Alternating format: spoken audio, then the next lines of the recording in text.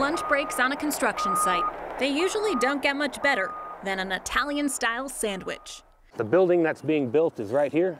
But as Michael Nias was munching, his buddy came over to brag. I don't think he realized what he had. His friend had uncovered this while digging. Lucky for him, he showed it to the right carpenter.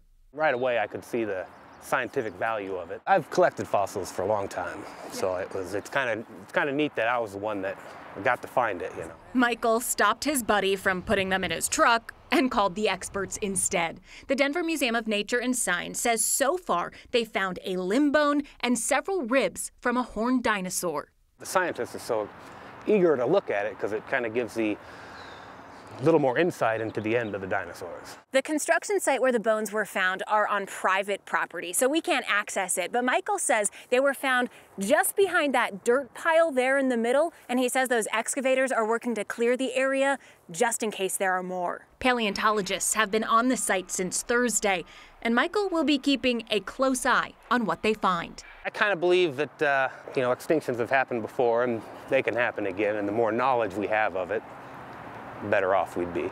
He's got a new lunch spot with a front row seat to history. In Highlands Ranch, Katie Eastman, 9 News. And the curator of vertebrate paleontology at the museum says the fossils are embedded in a rock layer that is 66 to 68 million years old.